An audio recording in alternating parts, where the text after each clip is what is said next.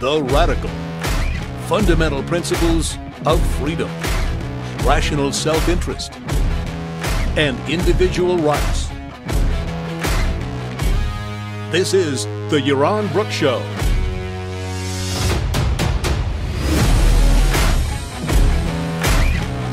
All right, everybody. Hope you're having a great week. In spite of being locked down, in spite of being limited your freedoms, your ability to pursue your values, all in the name of, I don't know, your local governor's decree. And uh, they claim that this is necessary, absolutely necessary. Oh, I haven't gone live. Ah, sorry, sorry, Facebook people. Here we go. Uh, right. So we f- live on Facebook. There we go. I think we're live on Facebook now. Okay. So welcome everybody. Uh, today, as promised, um, I'm going to get to the super chat questions we got yesterday. I've got a couple of other questions that I got by email, so I'm going to cover those. Then I'll take any super chat questions that um, that we have uh, today. That any of you want to line up for today. Uh, I first want to talk about Sweden. Uh, I've got a lot of questions about Sweden. People have asked a lot of questions about Sweden. Uh, so we'll cover Sweden a little bit, and then we'll take we'll basically take questions. So um, that'll be the sequence of events. All right. So Sweden, everybody uses Sweden as an example, a counter example to the rest of Europe and the rest of and, and the United States in terms of how they responded how they've been responded uh, to this coronavirus. In Sweden, this story goes. Basically, there are no lockdowns, there's no shutdowns, everybody's uh, behaving as normal. Uh, you can see if you look at um, if you look at stories uh, online, you can find um, photographs of people sitting at restaurants. Bars have not been closed. People are huddled together. There's no social distancing. There's nothing going on. Everything is normal in Sweden. And yes, some people are dying of the coronavirus, but it's no big deal. So that is the story we're getting. So why can't we all just be like Sweden? Why can't we all be Swedes? That sounds like Bernie Sanders. Bernie Sanders has wanted us to be Swedes for a long time. But this is actually coming from a different constituency, that constituency that is not like the shutdowns and would like to see us, would like to see us uh, more open uh, and, and less lockdowns, less constraints on, on Americans. So let's start with the facts. We'd like to do that on this show. What's actually going on in Sweden? Is it true that Sweden is completely hands off and the government's doing nothing? And the answer to that is no. Usually, the common perspective out there and the stuff that's being written is wrong, and don't believe all the photographs, even that you see in newspapers. It, it's not true that the Swedish government is completely hands off. Um, it's also, I would argue, not true that the government of Sweden is doing the right thing. I think to a large extent, the government, the government of Sweden is not doing what it should be doing um, overall. But let's start with this idea of uh, lockdowns. No, there are no lockdowns in Sweden. There is a recommendation from the government. The government of Sweden is treating its citizens as adults. They recommended social distancing to the population in Sweden. And Swedes, you know, Swedes kind of trust their governments. Uh, Swedes are, you know, people who tend to do what the government asks them to do. So Swedes tend to be fairly disciplined. So generally, there is a lot of social distancing going on in Sweden. Most people are working at home. Most people are not going out to restaurants. Restaurant business is down 70 to 80%. Now, it's better to make 20, 30% than it is to make zero, but it's down 70 to 80%. People are not shaking hands, they're not hugging in the street, they're keeping a distance. Uh, as people interviewed for some stories I saw said, yes, you've got these photographs of people sitting huddled together, a few groups, but if the camera just swiveled a little bit, you would have seen empty squares and empty streets. People are staying home. but they're staying home because they choose to do so. They can be out in the street, but the government in Sweden is trusting its people to do the right thing. And doing the right thing in this pandemic is social distancing, and that's what they're doing. A big portion, it's my understanding, of Swedish workforce uh, uh, works from home anyway. They, they've they've done you know tele um, uh, teleconferencing, telecommuting uh, to a large extent in many other countries. So uh, many people, it's not a big deal to be working at, at home. Of course, there are still many people that have lost their jobs. Sweden is facing a deeper recession than it did in 2008. The economy there is doing better than the rest of Europe, but still doing terribly.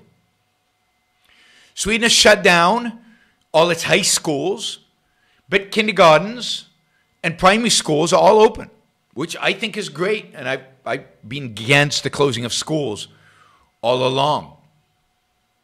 Um, Sweden is this middle ground of shutting down group uh, uh, events above 500, but not below 50. So, you know, large events are banned, but not the kind of size events. I think I think the uh, above 50 now. Yes, there aren't any congregation of more than 50 people.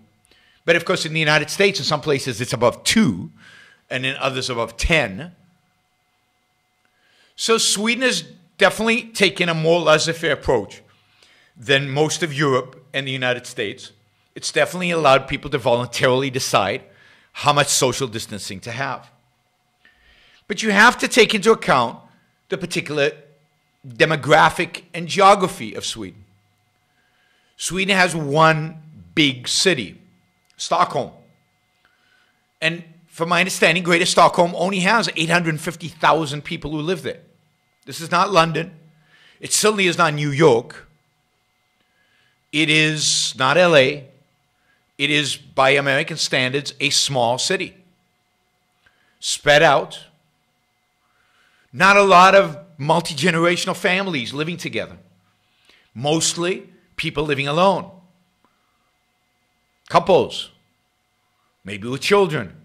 But you don't get grandparents, grandkids, parents living in the same household like you do in particularly low income families in the United States. So, a very middle class society, very distant already in the sense that they live in separate households, a socially somewhat cold society. Not a lot of hugging, not a lot of kissing going on. I mean, romantic kissing, but not a lot of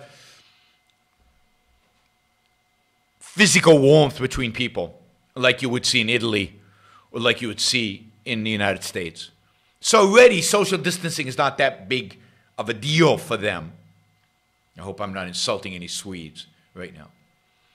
And the Swedes are doing what their government has asked. They're socially distancing for the most part. Um, so, more dispersed population, a lot of people outside the city, a lot of people in the countryside, a lot of people in smaller villages, smaller towns. Only 10.5 million people in the entire country, 850,000 people in their biggest city. It's a very different demographic than the United States. And the idea of people are disciplined. But to their credit, they have not shut down businesses. They have not used the coercive power of the state. And that's a good thing. Thumbs up to the Swedish model. So Sweden has, in one respect, in one respect, been better than the rest of Europe, and in another respect, it's just as bad. And that is, Sweden does not seem to be doing a lot of testing. So the ideal, which I've talked about over and over again, of test, track, isolate, is not really being practiced that well in Sweden. Not a lot of testing going on, not a lot of focus on testing, isolating, tracing. And I think as a consequence, probably more deaths than are necessary. So Sweden has had about 1,200 deaths on a population of 10.2 million. Uh, that proportion of about 1,000, uh, about 1,200 out of 10 million, is lower than in some European countries like Italy and the United Kingdom, which have very high death rates. But it's definitely higher than countries very similar to Sweden, like Norway, Denmark, Finland, which have far, far lower death rates. So Norway only has 128 deaths, with a population half the size of Sweden. Um, whereas Denmark, Denmark has 275 deaths, again, on a population about half the size of Sweden. So Sweden definitely has more deaths per capita. Uh, fewer, you know, uh, the United States has a lower death count than Sweden. The United States has 71 COVID deaths per 1 million of population versus, again, um, what is it, about 100 for Sweden per million in population. So Sweden is not performing spectacularly well in a death round. Now, you could argue, and you should argue, if you're a data guy and if you know data and you don't want data to be misused, that it's really hard to tell what this is going to be and what this is going to end up as. Maybe Sweden is a different point in the cycle. Maybe because Sweden is just allow, allowing people to be out, they'll get herd immunity before everybody else. And because of that, long term deaths in Sweden will be significantly lower than long term deaths in some of these other countries all legitimate critiques and why it's very dangerous to come to definitive conclusions in the middle of a pandemic about the data, about the exact facts, about the exact consequences and outcomes. So we have to wait and see. Very hard to tell whether Sweden maybe is avoiding the cyclicality of this virus. Maybe in Sweden I'll have it and it'll go. And in other countries, they'll have it, it'll go, it'll come back, it'll go because of the mandated social distancing and because we're not gaining herd immunity. So death toll in Sweden, all given all those caveats, is high. Economy marginally better off, but not hugely so, still taking a major hit. Politically, very popular in Sweden not to mandate this. So Overall, I would say Sweden got it mostly right. Have clear, um, that thing I think Sweden does, I think again voluntarily, is it segregates its older population, which is relatively easy because again, they don't live with their kids. So it's easy to segregate, but segregate them and protect them. And I think they got that right. Make, volu- make social distancing voluntary. Don't take kids out of school. And where was I going? Whoops, slipped out of my mind. Don't take kids out of school. And, um, you know, and, and count on people to voluntarily do the right thing and distance them from their grandparents. Make sure that older people are isolated. And then on top of that, what I would recommend Sweden do, what I've recommended everybody do, is test isolate, uh, track and isolate. If Sweden did that in combination with these kind of voluntary policies, it would have the ideal model. By the way, South Korea, which did test, track, and isolate, South Korea unequivocally has a far lower death rate than Sweden, than the United States, than any country in Europe. It's still true that the model for this pandemic is South Korea. All right, so that's what I have to say about Sweden. Uh, good for the Swedes. I wish we were more like the Swedes. I wish we didn't have these authoritarian um, scriptures, these authoritarian, um, you know, uh, uh, uh, constraints on us that force us to socially distance. I wish they would rely on us as individuals to make the right choices for our own lives, and that they would test, test, test, test, test. But I'm not going to get my wish. but that's certainly what we should be advocating for. But it's still true that the best model in the world is not Sweden, it's South Korea. South Korea had no mandated lockdowns, had no travel bans, by the way, had no real restrictions. Test, test, test, test. I can't repeat myself enough. Okay, so I've got a bunch of questions. Um, I've got a bunch of questions from you guys today. I've got a bunch of questions from yesterday, and I've got some email questions. I want to take this one email question from Helen. Well, it's not a question, it's a statement, which I want to comment on because I think I see a lot of these, what I believe are confusions, uh, and I want to I want to address them one by one. And she makes three points that she says are well documented. She has on her Facebook page documentation for all of these, and I want to take them on. Uh, somebody said Taiwan's is the best model. Taiwan is very similar to the South Korean model, and I still think on scale, South Korea probably did a better job. But Taiwan, uh, Taiwan the same. Uh, um, very few travel bans, a lot of testing, a lot of isolating, a lot of tracking. So I'd say Singapore, Taiwan, South Korea, and to some extent Hong Kong all had the same models. All should have been, should have been, had huge death rates, should have been the forefront of damage caused by this and weren't because they did the right things. And again, those who, who you know, the United States should learn from them rather than. Oh, by the way, I oh I oh God, let me find this.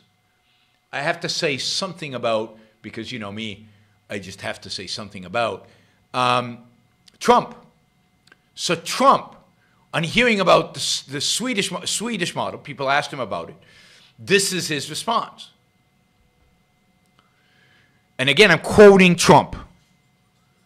Now they talk about Sweden, but Sweden is suffering very gravely.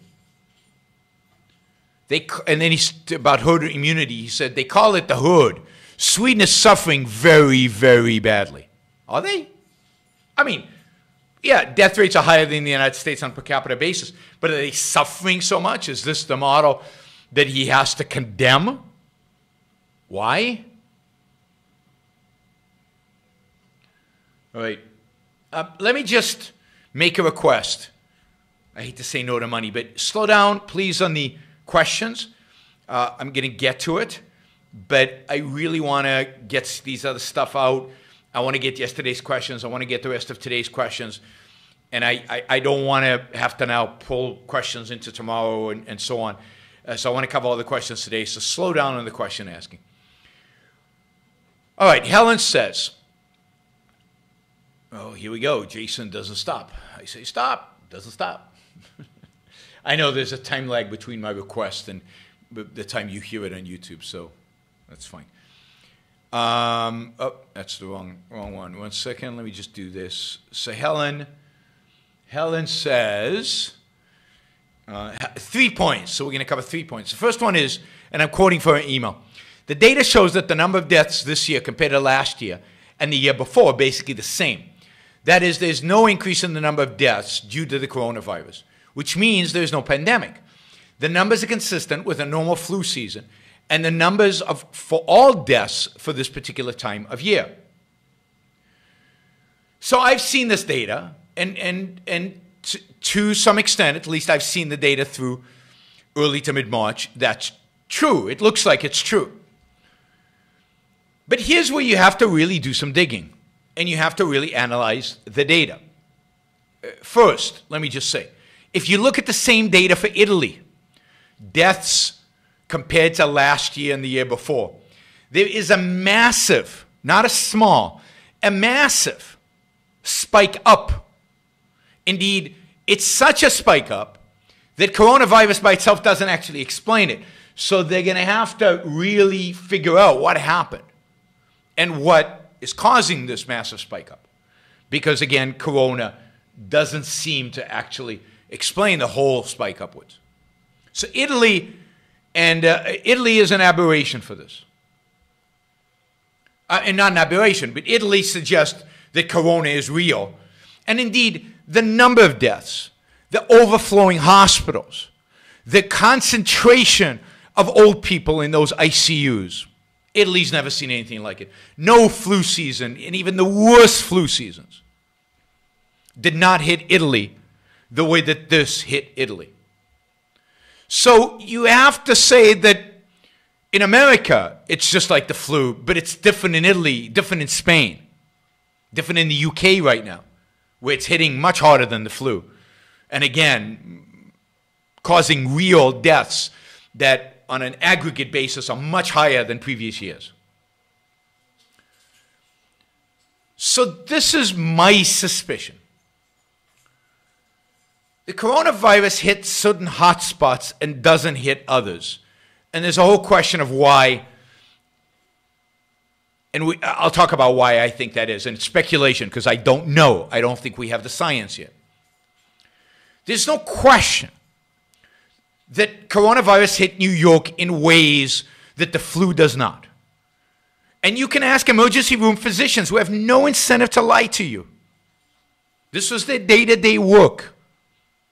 And they will tell you that in certain hospitals, not in every hospital in New York, but in certain hospitals in New York, this was like nothing they've ever seen before in terms of the volume of people who came into the emergency room and the volume of deaths in the emergency room.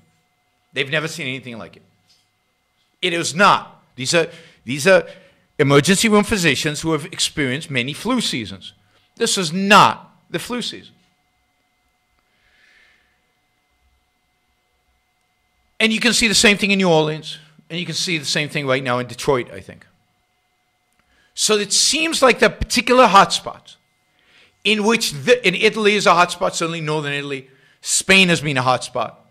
The UK seems to be a hotspot. There's certain places that are hit very, very, very hard by this. And where death rates, I think, when we look back, will be dramatically higher. Now, on average, across the country, they might not be higher. Partially because lockdowns slow the rate of death in other areas.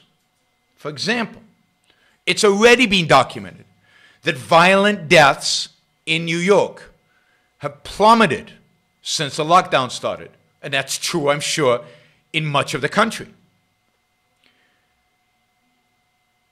Deaths caused by traffic accidents have plummeted throughout the country.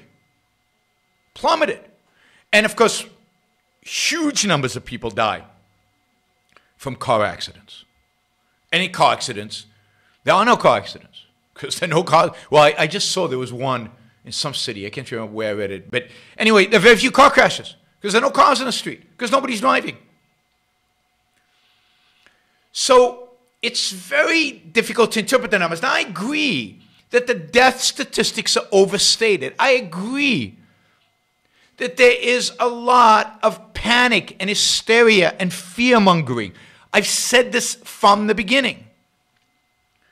But I think it's wrong to dismiss this as just the flu. It's not. It's something in additional to the flu. And again, Ask emergency room physicians in New York, in New Orleans, in Detroit, whether this was a flu for them. Ask the people who actually saw the patients, treated the patients. So we won't know. And I've said this again from the beginning, and I emphasize, I've emphasized over and over again be very careful how you use data and, and I'm not talking about you specifically, but everybody on the web, everybody is citing numbers, citing data. I call bullshit on all of it. We don't know. We don't know. We don't know because, because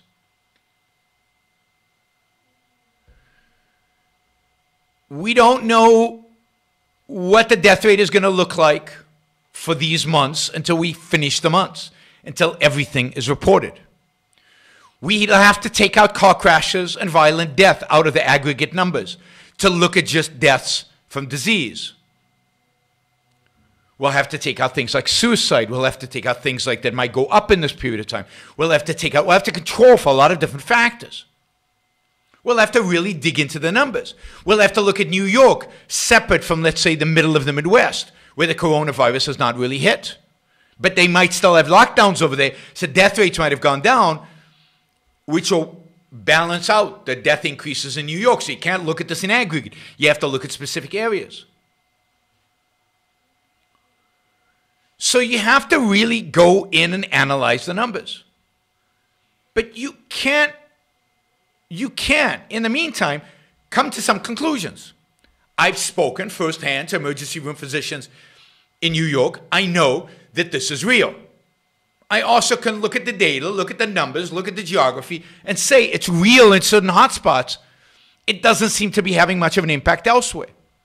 I can also say it's real for some people old people, people with pre existing conditions are the people most likely to die, although about 45% of hospitalization are relatively young people under the age of 65. But they don't tend to die. The deaths are all concentrated, or mostly concentrated, not all, in people over 65. Again, not flu. That's not what the flu does. Kids die from the flu. Kids don't die. I mean, I know there's one in a thousand exceptions, but kids don't generally die from COVID. They do from the flu. This is a different disease. So don't buy the aggregate deaths. Don't yet start doing the seasonality. We haven't finished, we haven't probably got all the data from March. You're still going to get data from April. In six months, we can sit down with the data, dig deep, analyze it properly, and then we'll see. But people are jumping to conclusions way too early. Way too early. And I think the wrong conclusions. I mean, on both sides of the argument, people who think this is, oh, Armageddon, the end of the world, and people think this is nothing. Both are wrong. Number two, related to the above, since a specific date, all deaths, regardless of cause, have to be accounted as coronavirus death as per CDC or whatever agency is supposed to dictate these mandates. That means that if you died of a heart attack or cancer or even a car accident, but tested positive for coronavirus, your death is recorded as caused by virus. Now, again, half true. Nobody who died from a car accident, I shouldn't say nobody. In general, if you die of a car, car accident, your death will not be categorized as COVID if you test positive for COVID.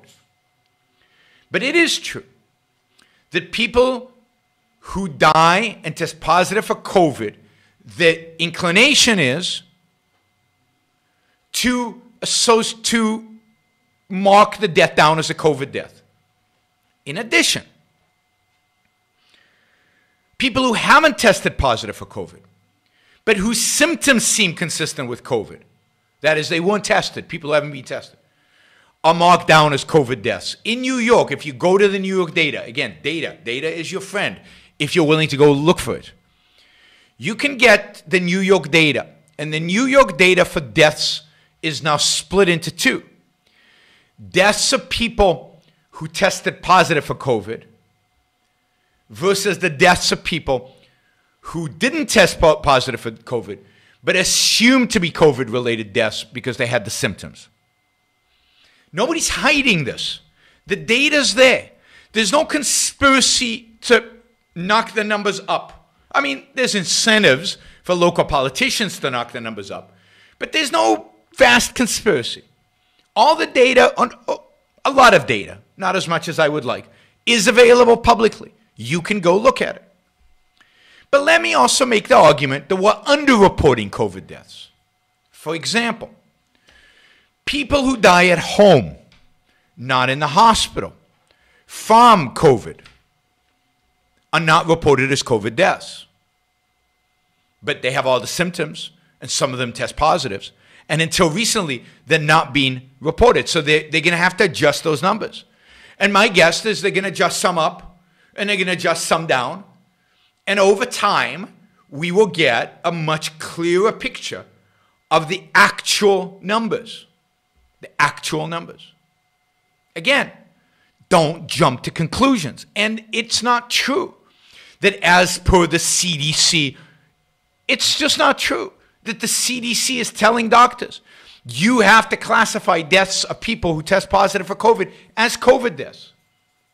That is a decision made by a medical examiner at a hospital, making the best assessment he can under very extreme conditions because there are a lot of people dying, in spite of the claim that this is just a flu, a lot of people dying.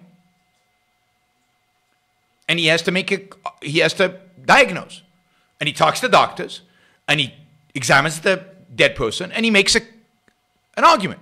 He makes a determination of what the cause of death was. And they're doing it based on their standards, not some CDC dictate on how to do it. And it changes over time. Puerto Rico changed in the middle how they categorize deaths. And I'm sure in New York they will change, and I'm sure in New York to some extent they'll go back and rethink this, and, and we will know more as time goes on. So, no, I don't buy the deaths are, are dramatically overstated. They're probably somewhat overstated in some areas and somewhat understated in other areas. There are whole parts of this country where people are not being tested, and people are dying probably from corona, and they're not even being tested. So they're not considered corona deaths. They're, they're, they're deaths from cancer and heart disease and so on. But they probably wouldn't have died today if not for corona. Now, it's generally a problem to determine the cause of death for somebody in their 80s. It's not easy. Somebody's 87 and they've got the coronavirus, but they've also got 300 other things going wrong with them because they do when they were that old. What was the cause of death? COVID is not a bad cause, given that probably triggered this particular day their death. They might have died two weeks later from something else, but on this particular day, COVID is probably what triggered them. So again, data, evaluate it, look carefully, don't jump conclusions, realize what you know and you don't know. Biggest difficulty in being objective is to realize what you know and what you don't know. To realize what the data is actually telling you and when it's not telling you. To realize when people are telling you, people are great. Every article I read that has a definitive answer, they know exactly what's going on. I'm suspicious of. Because I don't think anybody knows exactly what's going on. Because I look at the raw data and I know data, and it's hard to know exactly what's going on. We need a lot of time, we need a lot of studies. We're going to have a lot of medical articles in the next couple of years diagnosing what's happened, and we'll slowly figure it out. But we know it's not the flu. We know people are dying from it. We don't know exactly how many, but many, many more than die usually.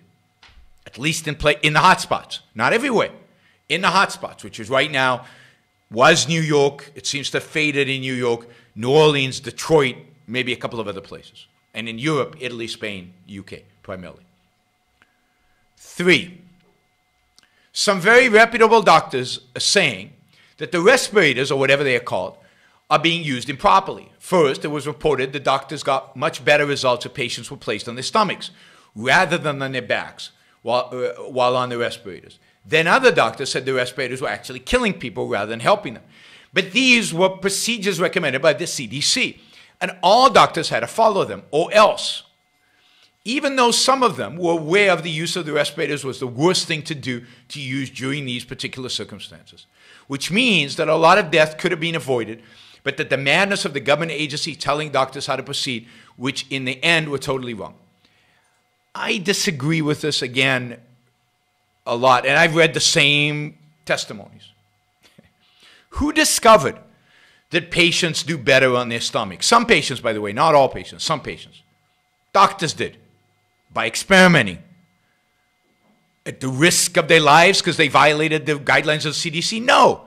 The CDC provides guidelines in this case. I'm not trying to justify government intervention in medicine, but it, I'm just trying to be accurate here. The CDC has guidelines. We need guidelines. Hospitals would create guidelines. Medical profession would create guidelines. When you have a new disease, it's good to have somebody who suggests the treatment. Respirators, given the type of disease, seemed like a rational, the rational answer. Doctors then experimented. They tried to turn them on their stomachs. That helped for some, not others. They tried to take them off the respirators. Helped for some. For a lot of people, it didn't. They tried to lower the pressure that the respirator was working on. Helped a lot. It turned out that the pressure recommendation was too high. But who did all these tinkerings? Doctors did. Why? Because the CDC didn't mandate that people go on respirators. That was the recommendation because the disease looked like it was a disease that respirators typically help with a, a typical pneumonia. And doctors experimented and they figured out no. There are other ways to treat this. And, and yes, they still need respirators, by the way. Many, many, many patients still need respirators. It just turns out that they respond better to the respirators if they're not set on very high pressure of the oxygen going into the lungs. At lower pressures, patients respond better. At least that's what I've read. Same with if you move the patient around. So different areas of the lung are, are in a sense, being pressurized. That's good for patients. Some patients do better without a respirator. So again, patient, doctors experimenting. And the same, by the way, is happening with drugs. You know, Trump keeps pounding this malaria drug. First of all, why is the president of the United States of America have, why does the president have an opinion about a drug? Any drug. Even if it's the real cure, it's none of his business. He knows nothing. He has an instinct for these things, he tells us. The president of the United States should stay silent when it comes to treatment. Now, it turns out the malaria drug is being used extensively by doctors all over the world. Sometimes it works, sometimes it doesn't, sometimes it makes patients worse. Lots of other drugs are being treated. Tuberculosis drugs. It turns out that tuberculosis, immunization, vaccines for tuberculosis seem to have a positive impact. I think, again, some studies say. There's the antiviral drug that Gilead has, put, uh, has that is showing some promising results for some patients. There's other medications that people are trying, experimenting with. And who's doing this? Once they get a, you know, it's pathetic they need permission from the FDA. But the FDA has given a lot of these drugs permission to be tried. Once they get that permission, which they got early on, doctors experimenting. They don't have one treatment that they have to give a patient. They're trying different things. Well, blood plasma, I think, I don't know that we've seen any trials yet of blood plasma, but one of the most promising treatments is to take plasma from people who've already had the coronavirus, who have antibodies, and inject that plasma into people who are really, really, really sick, and therefore boost the body's immune system against the virus. We will see if that works. All these things are interesting. But it's doctors on the ground. There might be recommendations. But at the end of the day, as long as they're not going against the uh, using a drug the FDA has not yet approved for testing, and the FDA, luckily in this case, has approved a lot of drugs for testing. Uh, they can use off-label. Doctors can use. They can use uh, for compassionate purposes. They can use all kinds of things. Again, I am not I am not trying to justify the FDA at all.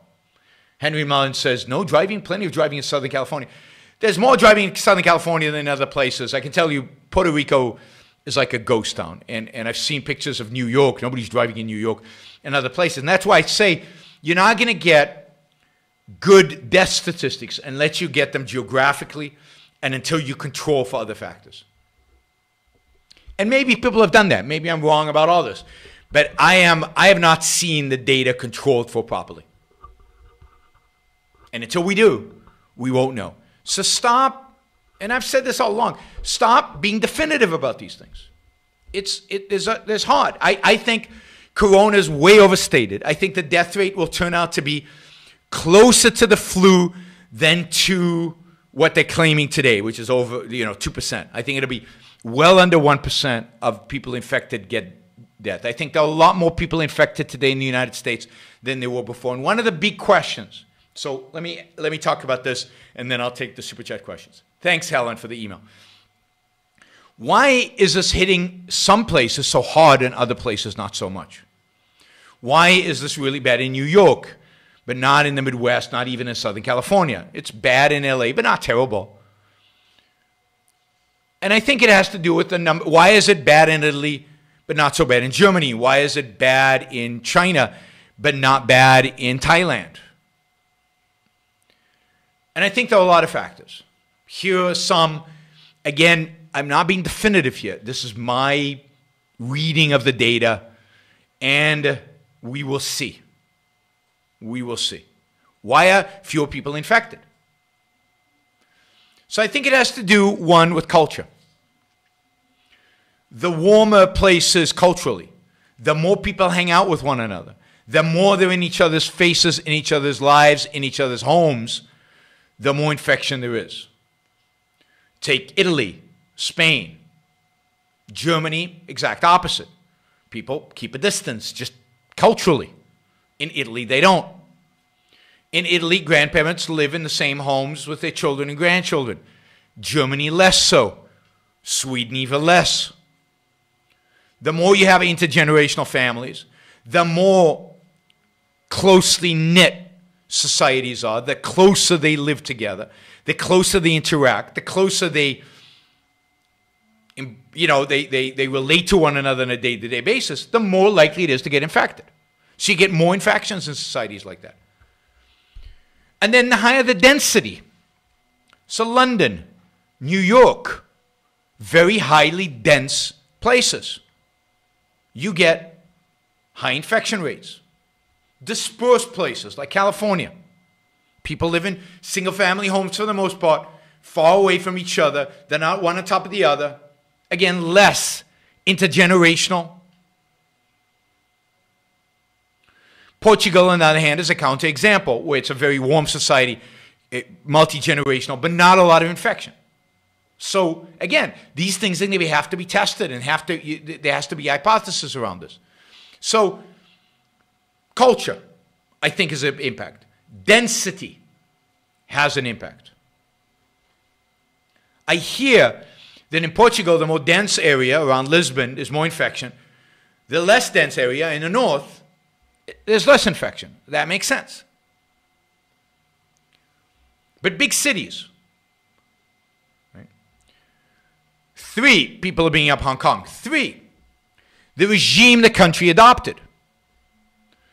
Again, North Korea should have been massive infections, very high density.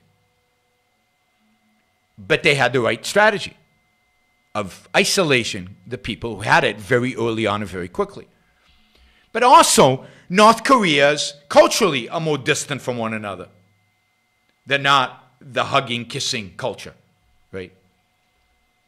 I'll get to Hong Kong. There's another thing that is in Hong Kong favor I'll get to in a minute.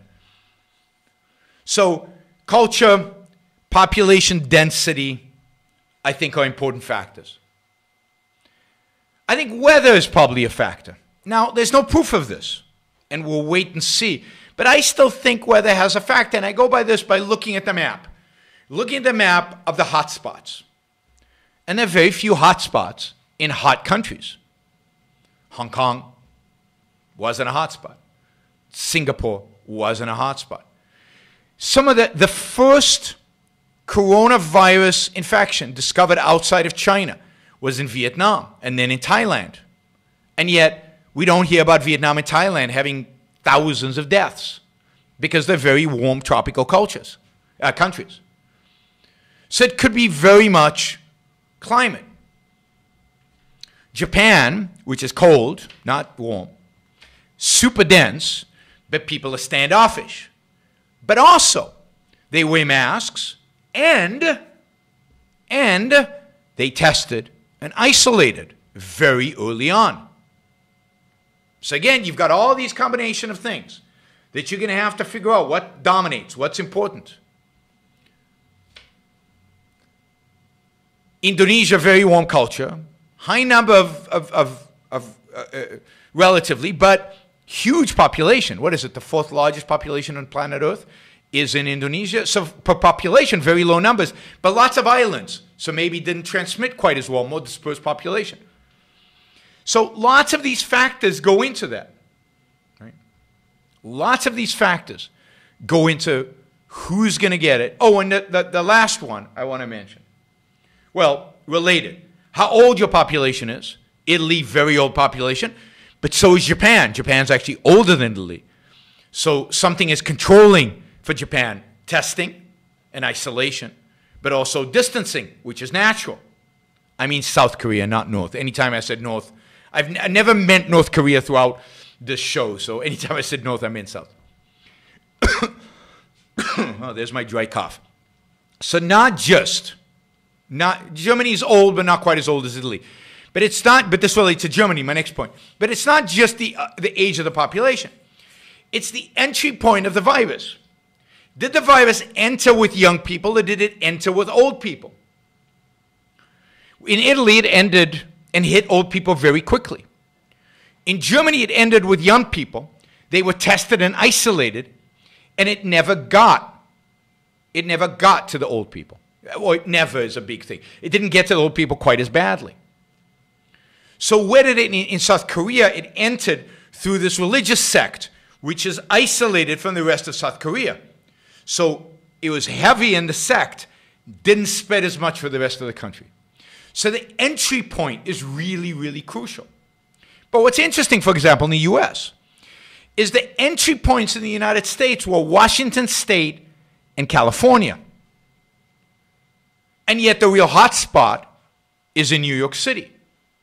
I think because of population density, and I think because Washington State probably responded earlier faster, and more effectively than New York did. So you've got a lot of things going on. And again, this is where you're going to have to look back a year two from now and figure out what really happened. It's very hard to tell in the midst of it, but we know what strategies work. Isolating, Uh, you're testing and isolating and tracking work. Right? Isolating the old people works social distancing, ideally voluntary, works. Those are the things that work. None of that involves shutting down cities for long periods of time, shutting down the economy, constraining us to our homes, police state. None of it justifies. None of it. New York City, by the way, got the virus from Europe, not from Asia, which is interesting. And, and maybe, I don't think they found mutation of the virus in New York versus the virus in Washington State, but it would be interesting to find out. So there's a lot going on. And then, of course, Jennifer reminds me, there's, there's, there's the medical condition. Californians, generally, are more healthy than New Yorkers. They smoke less, they exercise more, they're less obese. Detroit has a lot of diabetes, a lot of obesity, Poor people generally uh, have more pre-existing conditions than wealthy people. California, particularly those regions that were exposed to the virus initially, are relatively well off, relatively healthy, relatively take care of themselves.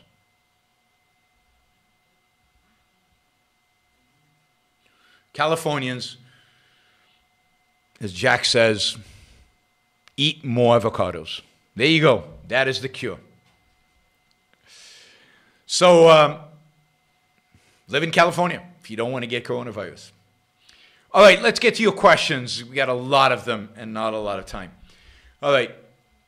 By chance, have you read Jonathan Fenby's History of Modern China? If so, do you recommend it? I haven't read it, so I can't recommend it. I, I mentioned the books I recommended last time, right? Um, How China Became Capitalist and the biography of Deng Xiaoping. Have you played the board game Monopoly? How well does it represent capitalism? I have played the board game Monopoly. I used to play it a lot in high school. Um, it was my favorite game to play in high school. And then I, I also played it in my late 20s with a group of friends. We had a blast playing it.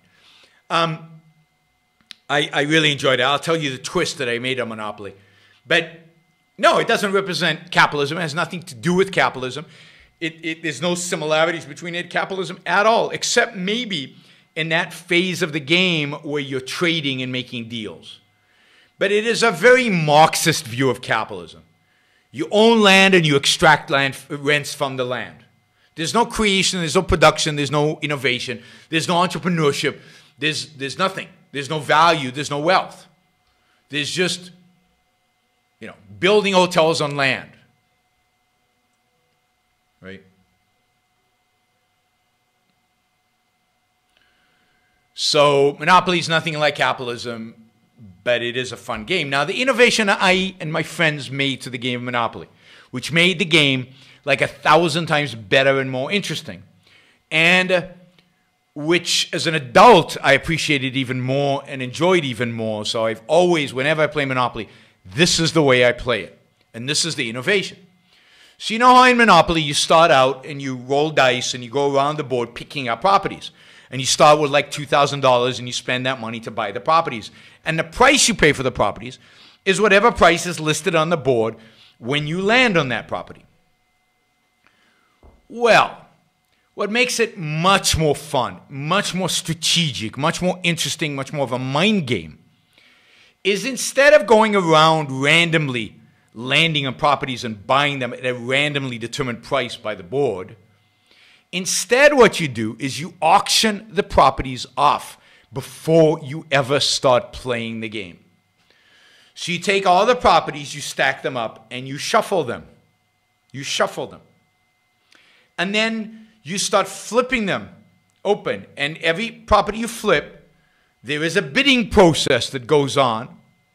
And you can strategically decide what you want to bid on, how much you want to buy a property. So, a property that might go for $200 suddenly, if you play the game strategically right, might have much greater value. Suddenly, its value might jump to a 1000 and you might see bidding on a relatively cheap property go through the roof because it's a strategic asset now because you've got a whole strategy around which properties you're accumulating. So it becomes a completely different game. The fun of it is in the bidding. Then once you bid, all the properties are distributed. Then you start playing the game. Then you start playing the game. Then you put the, and then the, the, the, the chance aspect is on which properties you land. Also, you have to strategically consider how much you bid on the properties so you have enough money left over to buy houses and to buy hotels so that you can charge rent. So after the bidding, you start going around. And that's when the, the game, and, and actually the games are shorter because the real winners can be determined almost immediately after the bidding happens. And of course, after the bidding, you can trade. Anytime in the game, you can trade. You can get any deals anybody's willing to do. So it's a complete laissez faire monopoly game. So you guys should really pick it up and, and try it out and let me know what you think. Okay, somebody asked, what's your opinion on usury? I'm not going to, you know, I'm, I'm very pro usury. I think usury is fantastic. I don't think the world, modern world, could exist without usury. Usury just means, in its traditional sense, charging interest on money, lent. So you, I, I give you a loan and I charge you interest on the money until you pay me back. Interest is what drives much of kind of the, the, the, the, financial world, which makes possible production, innovation, entrepreneurship, capitalism. So I'm a huge fan of usury. And indeed, I have a whole book dedicated to usury called The Moral Defense of Finance. In it, there is an essay called On the Morality of Usury.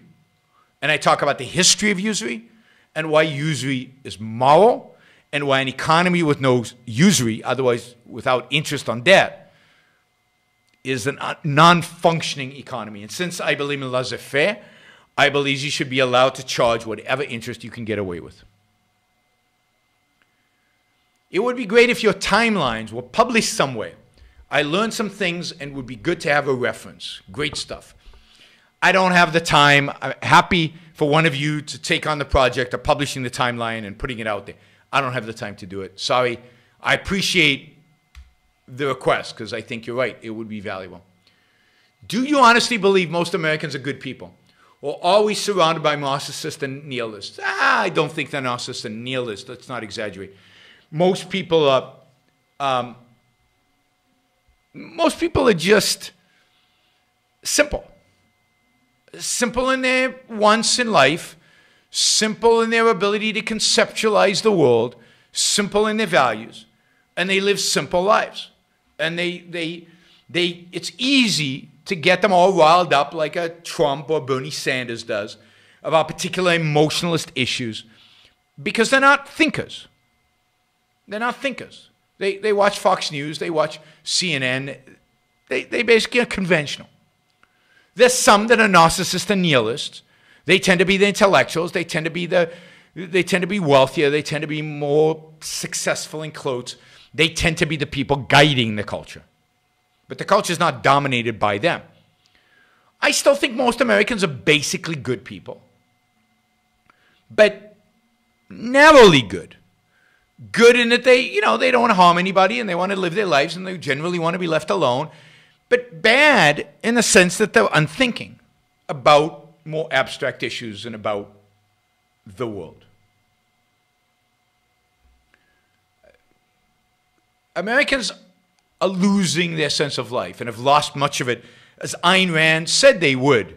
She warned of this in the 60s and 70s, and, and Leonard Peikoff warned of this in the 2000s, where he said Americans have basically abandoned their Americanism, their individualism, their goodness, their deep seated goodness, and, and what made them different from all other people, that they were losing or had lost much of that. That was in a famous speech that Leonard Peikoff made called Americans versus America. Great title. And uh, um, you can still listen to that speech on YouTube. Look for Americans versus America. Travel introduces a linear term in infection rate, but community spread is exponential. True. Uh, that's why travel bans are not effective and slow infections down a little bit, but not dramatically. Do you think that the U.S. should annex Taiwan if Taiwan people ask for it? Yeah, I think so. I think so. I think generally a, a free people uh, who wants to be annexed to the United States and that they're basically free and they have a, a culture that you could imagine uh, becoming a part of an American culture. I mean, up to a limit. You don't want to annex the whole world. Yeah, and, and there's, you, you know, Taiwan is far. So that would be my only concern. But it's not that much further than Hawaii, although I might have my geography wrong. Um, I mean, geography would play a role. Like, I wouldn't annex Israel, even if Israel wanted. It's too far, too messy, too disaster over there. So, but I would annex Canada Why is testing not widely available? What is the government saying and what is the truth? It's not widely available because they haven't allocated the resources to it.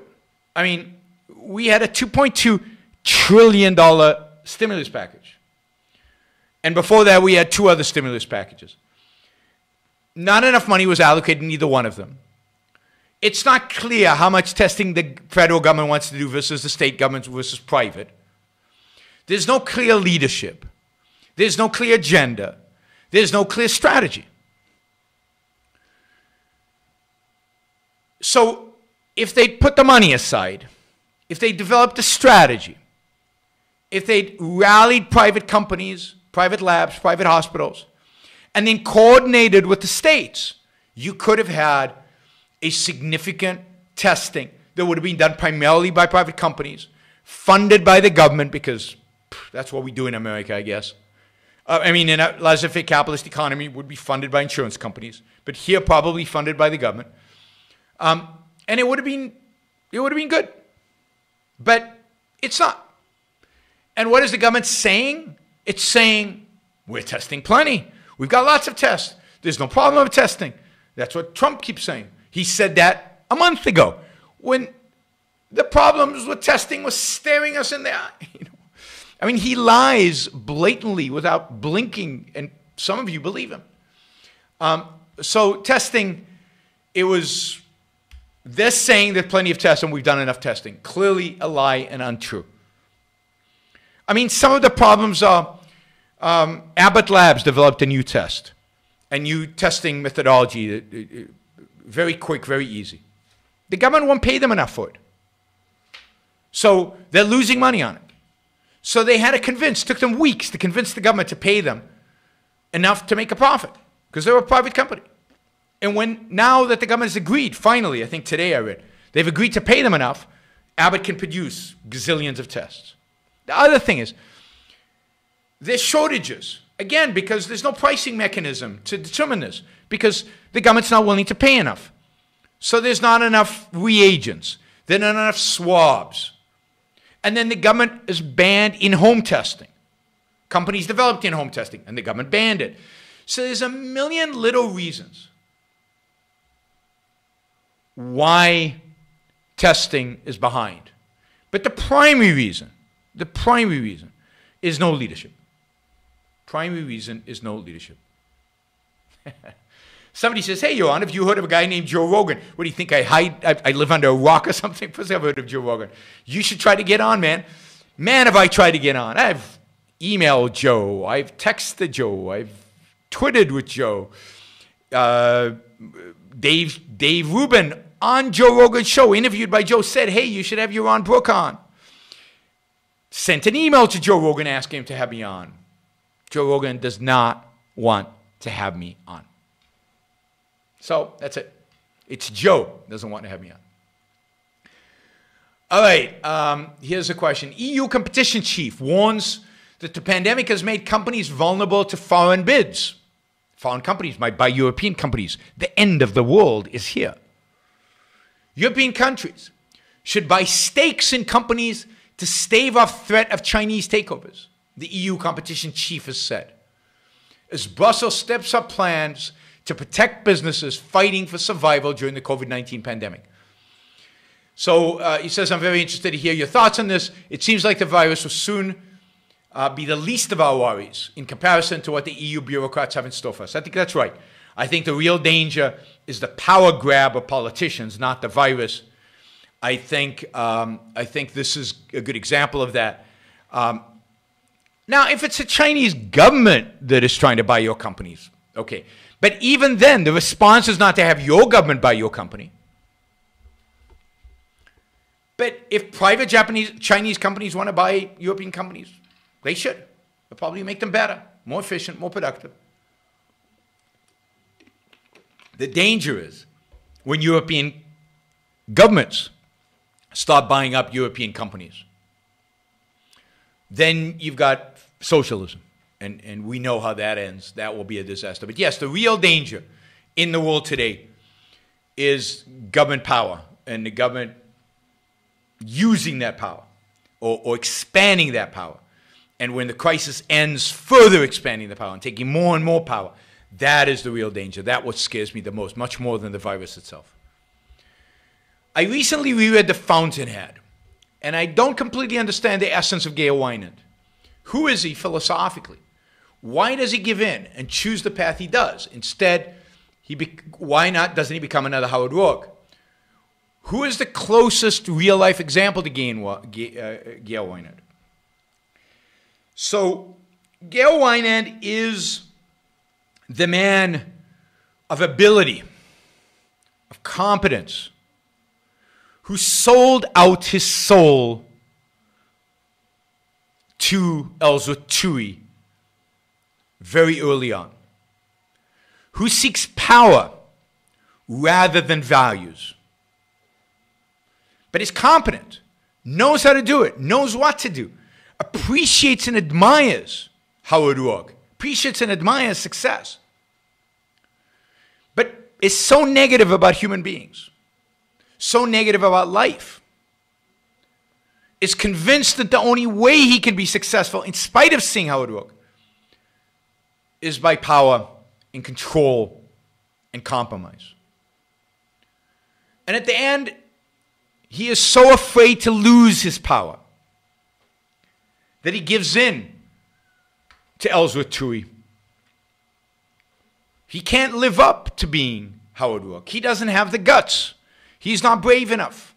He's not courageous enough. He doesn't have enough integrity to become Howard Roark. He's psychologically impossible for him to do it because at a too young of an age, he gave up.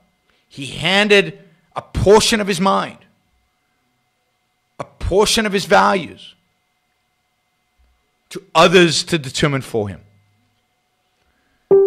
Now, I think most businessmen have Gail Wynand as part of them if you think about the Silicon Valley entrepreneurs admirable businessmen who achieve great things, who are amazingly productive. And yet, when it comes to anything conceptual, when it comes to anything political, when it comes to anything philosophical, fold, give up, accept the wishes of the intellectuals, the politicians, their intellectuals, cultural, so called superiors. So I think most of the CEOs in our world, all the CEOs who are productive geniuses, build companies, produce stuff, but somehow can't give up on God. And everything is determined morally from moral perspective or other perspectives by this commitment to God, even though they don't live that life in their business life. So there's an element of Wynand in almost all businessmen today, unfortunately. All right, about half a million Zoom accounts have been sold online recently. So if anyone uses it, I would suggest changing passwords. Yes, I mean, massive um, security breaches in Zoom, uh, lots of problems with Zoom. Uh, uh, Google has banned its employees from using Zoom. Others uh, have, um, uh, other companies have, have banned the use of Zoom because it is so, um, it's so leaky security-wise. Real, real problems. So be careful. Greg mentions that um, Onkar Ghate has an excellent essay on the characters, uh, on the motivation of characters in, uh, in The Fountainhead, in Robert Mayhew's uh, book on The Fountainhead, ess essays on The Fountainhead. in which Onkar has an essay on the characters, and he has a whole section in Gail Wynand, which is excellent. So if you really want to dig into Gail's or any of the characters in the Fountainhead uh, motivations, uh, has an excellent essay on that. So uh, I don't think anything I said contradicted it, but you'll get much, much better, deeper analysis of Gail Wynand in Onkar's essay. Did Margaret Thatcher rely on religious right the way Reagan did in order to win? What was Ayn Rand's ev evaluation of Thatcher? No, uh, the UK doesn't have really a religious right. I mean, I don't think she, I mean, I don't think she ever pandered to religion that I know of. I mean, there is some religiosity in England, but it's mild and tame and insignificant as compared to the religious right in the United States and Ronald Reagan's pandering to it. So, no, Thatcher was much, much better. I don't know. I don't think Ayn Rand was impressed by Thatcher it's one area where I disagree with Ayn Rand. I'm very impressed with Thatcher in comparison to almost any leader in the Western world since World War II. I, I think she is the most impressive in the last, what, 60 years, um, 70 years. So uh, Thatcher would be head and shoulders about anybody else that I know who's led a Western country. Um, uh, you know, the United States or UK, let's say, because I don't know all the other leaders since World War II. Um, a little off topic, but could you briefly go over the errors of UBI? Oh my God. I've done whole shows of the UBI, so the best thing is to go to in YouTube do a search Yaron Brook UBI, and you'll find a couple of shows that I did, and I did a thing criticizing Andrew Yang, Yang and, and a whole thing. But basically, the, the evil of a UBI is that it is morally offensive. It basically assumes that some people cannot make a living, and I think that's offensive. And it assumes that I owe them a living by taxing me and giving it to them, which I think is offensive. But I also have given compliments to UBI in the sense that of, of all the redistribution systems, it's better than welfare. So if you could promise me that we got rid of all welfare, all government health care, all government programs to help the poor, and replace it with one check Medicare, Medicaid, Social Security, everything, welfare, food stamps, all of these things, all went away. All the bureaucracies went away. Everything went away. And all we did was give everybody one check to replace them. I'd be for it as a, as a, as a means to getting rid of all welfare forever, right? but as a, as a way in that, to move in that direction. But that's not what Yang was proposing. It's not what anybody is proposing. Anybody is proposing. So Um, but that's the kind of UBI, the only kind of UBI I would support, and I support it only as a mechanism to get rid of all the welfare.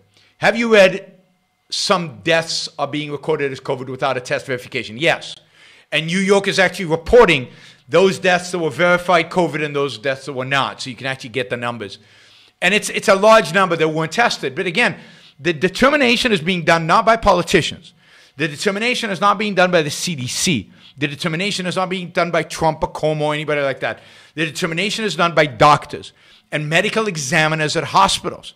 And of all the people in the world to trust making those determinations, I trust doctors and medical examiners more than anybody else. So, are the numbers going to be messy? Absolutely. Is there a systematic bias in favor of COVID? Maybe, but I don't think it's anywhere as bad as you guys think it is. Will I still be going to my first Ocon in June? I'm not allowed to say, but let me just say, I think it's unlikely. Not, not because I have inside information, just because I can't imagine the city of Austin letting us have an event with 500 people in June. And I think that a lot of the people coming will be afraid to come. So I suspect it's going to be delayed. I don't know until when and I don't know how exactly. I think still in Austin, but I, am hoping because I'm I'm waiting. I've got my travel plans. I've got everything set. I'm hoping that it will be um, will be announcement will come out very soon because I'd like to know because I've got to change all my tickets and change all my plans for the summer based on it, particularly if it's rescheduled. Uh, loved the timeline yesterday. Great job. Thank you. I, I, that was a good show. I think people liked it. Although I got my usual people who came after me. But yeah, I thought that was a info data filled show that I think is helpful for you to get a context and perspective and what has happened uh, over time.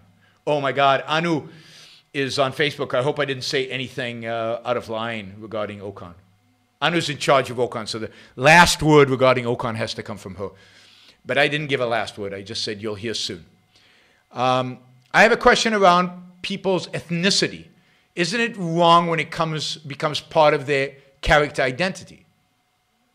Yes. I think ethnicity, from a biological, from a genetic perspective, is meaningless. And uh, I, I, don't care a person's ethnicity. Well, now, some people relate culturally to a particular ethnic group. And, you know, there's something about that. You grow up in a particular culture, you're affiliate with the songs, with the food, with the atmosphere, whatever. Up to a point, it, you know, you can't affiliate with the bad parts of the culture. So there's some horrible parts of a culture that you don't want to affiliate with. But I think ethnicity generally, as a means to evaluate people, is wrong, evil even. I think the only reason ethnicity might come into play is when um, it's medical different ethnic groups do have different DNAs, and as a consequence, do have different susceptibilities to certain diseases and to certain medical conditions. And it's relevant medically. It's not relevant in terms of a person's character, in terms of whether somebody you should love, befriend, you know, have an affiliation with, an association with, a business relationship. All of that, the ethnicity is irrelevant. Have you watched HBO's The Plot Against America? If so, your thoughts. Does it have a parallel with today's politics like Trump? No, I haven't watched it, so I don't know. Sorry.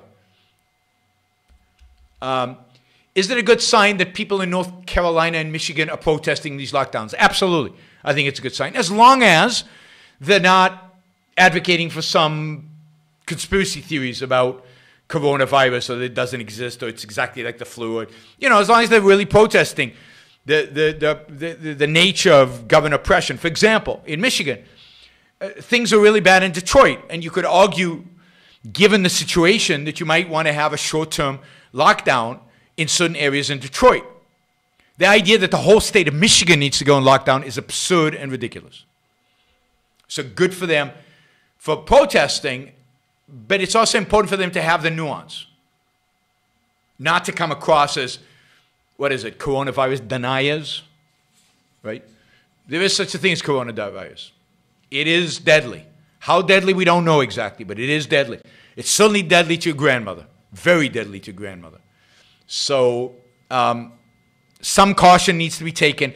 Exactly how much caution, it depends on the place and depends on how badly the government has handled it to this point. The sooner the government handle it well, the less bad measures they need to take. If they handle it real well, then they don't have to take bad measures at all in terms of lockdowns and things like that. Is there a point at which risk statistically is high enough to render an activity a disvalue, i.e., surfing? Absolutely. Absolutely. But for whom is important? Like, I wouldn't surf, I wouldn't skydive, partially because I just have fear of heights. But it's not a kind of risk I want because I wouldn't enjoy it. But some people love skydiving. My wife likes paragliding. She, she's only done it, you know, uh, uh, in tandem with a, with a guide. But she loves jumping off of cliffs and floating in the air. I mean, I think that's, and I love my wife dearly, I think that's nuts, right? I wouldn't bungee jump. But if you love it, and if you understand the risks, and if you calculate the risks, and if the risks are not insane, like some things objectively nuts, I can't think of what right now. You know, driving down the I 5 in, in California uh, at 150 miles an hour, as I see sometimes people do, you're going to kill yourself or you're going to kill somebody else. The probability is very high. It's just stupid. And you're endangering other people. So it's a disvalue. Now, I love driving fast. Put, put that guy on a track where he's only risking his own life and, and he can control the risk and it's it's just a track, and then great. So it has to be within the context of your values. I wouldn't want to tell people you can't do that because it's too risky. They have to make that call for themselves as long as they're not endangering other people. And if they are endangering other people, then the difficulty is, and this is where you need objective law, is how much are they, uh, how much are they um, you know, putting the, the other people's lives in danger. How can I quantify that?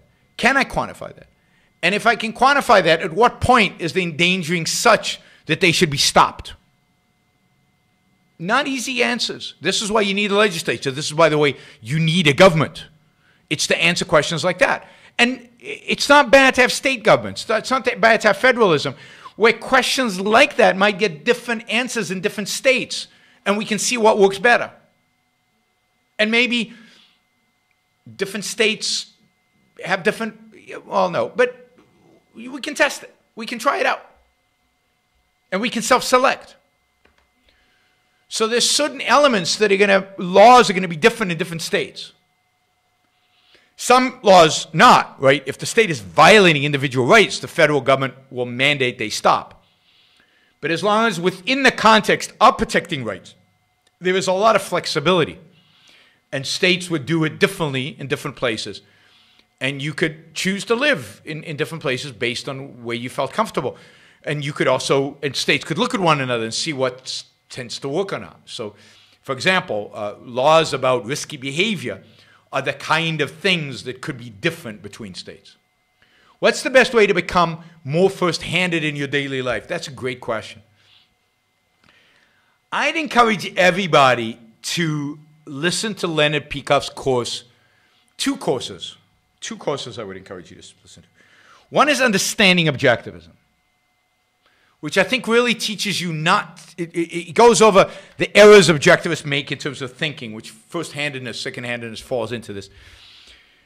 Uh, and then the other is Objectivism through Induction, where he teaches you how to induce or at least understand what induction, how induction applies to your philosophical knowledge and to the knowledge of your principles. But I'd say how to be a first handed thinker in day to day life facts, facts, facts, reality. And this goes, you know, just because I said something doesn't mean it's true even if I sounded really, really convincing, and even if I yelled it, even if I showed a graph and gave you some numbers. Now, if you've listened to me for a while, and then gone and thought about what I've said and examined it and tested the data and checked for yourself and read some other sources and come to the conclusion, yeah, it sounds like Yaron's right. And if you've done it over and over and over again, it's an okay assumption to make. Yeah, he's been right in the past, he's probably right now. But to make it your knowledge, to make it truly convincing to you, to make it so you can then go out and argue the same point, you have to, to some extent, recreate what I've done. You have to go and read about the topic, look at some numbers, look at the data, and be convinced yourself. I can guide, I can help, I can point you in the right direction. I can't think for you. So to be first handed means to think for yourself. To think for yourself means to access the data, the facts, reality, integrate it across your different knowledge, across the things you know. And figure it out for yourself. Figure it out for yourself. Now, again, I'm an expert, so you want to use me as a reference point. And on some things that are not that important to you, you can you can just you can agree with me. Just realize that you're agreeing with me. You don't really understand the point. I often do this with Leonard. I go, that sounds right. I know I don't completely know why it's right, but it's Leonard Peikoff, so I'm sure it's right. And then if I really need that knowledge, if I feel like I really need it, then I'll go and figure it out for myself. I don't have time right now, for example, right? So you have to prioritize. You can't do it all knowledge, right? And at some point, if the knowledge is very, very specialized, you're not going to do it. So when I go to the doctor and he says stuff, I want him to explain to me in words that I can understand. I want him to show me on the MRI what he is seeing, but I don't really know. But so I try to understand. I do my research online, and I get a second, third, fourth, fifth, sixth, seventh, eighth opinion, depending on how serious the condition is. And I try to integrate all that knowledge. And even then, I know I don't know, but I also know that given uncertainty, I have to make a decision and I based it on the best available information I have. Some expressing sadness at missing sports, restaurants, the beach, etc., ashamed because people are dying. Why is it good to express pain in response to death, but not in response to loss of life, of living? A- absolutely. I mean, I am sad because I can't go to restaurants. I can't go to the beach. I can see the beach. I can go walk a little bit by it, although I I did go to the beach a few days ago, and I am going to the beach on Saturday, but don't tell anybody because I'm breaking the law. But of course, you should say you're sad. When you lose a value, eh, your values are not measured in comparison to other people's. You don't lose your values because other people have lost bigger values. Your values are your values. And yes, other people dying is sad. But not going to restaurants is sad too And in some circumstances, sadder. I miss basketball. We, you know, the Celtics would be in the finals right now playing the Lakers. It would be a classic, a classic series. And we don't get to see that. And that's horrible. Right? So I'm sad about missing sports, about restaurants, about the beach, about all these things. I'm also sad about people dying. One does not zero out the other. My values are my values, and when they're gone, I'm sad about that. And don't, you're not going to shame me. You're not going to reduce my life into being measured and evaluated based on other people's lives. All right, last three questions. Aside from your ex, I said last three questions. Thanks for liking. Thank you, Travis. Like the video. Thank you for the contribution. Aside from your excellent course, what resources, texts would you recommend on investment portfolio managers? I'm I'm gonna have to get you a list of books, and I keep forgetting. My books in in um, in California, but I will try to get a list of books on investment portfolio managers, and I'll do I'll do it on a show. So sorry, I just don't have it at the top of my mind. Uh, I'm reading D. McCullough's great books on the Wright brothers. That's great. I recommend it. You have an engineering degree. Can you comment on the Wrights? I mean, yeah. I mean, they were amazing. The, the determination, the hard work, the, the risk taking, the ingenuity. I mean, they were engineers and they were bicycle repair guys, right? But that's what it was like. And, and it, was, it, was a, it was very laissez faire. It was a beautiful era in America. And it was the era of greatest innovation ever, ever, by far. It's not close. Electricity, flight, automobile, and I'm and I'm uh, uh, indoor plumbing and toilets, uh, and I'm missing a ton, right? Just an amazing, amazing, amazing. All right, last question. Backing currency with a fixed assets makes sense. But why have precious metals historically been chosen? Is it because of their value as a luxury item? Yes. So uh, the, the, the precious metals have been chosen because they're pretty. People valuing, value them in and of themselves. They are rare. So there's so much gold in the world that you can only about increase the amount of gold by about 2% a year. Um, it's hard to mine, hard to find, um, easy to melt down and create new forms. So uh, they just have good characteristics, right? for money. They're, they're hard to, they're hard. So the, the, the, you know, they don't melt in your hands. They don't disappear. They're not perishable.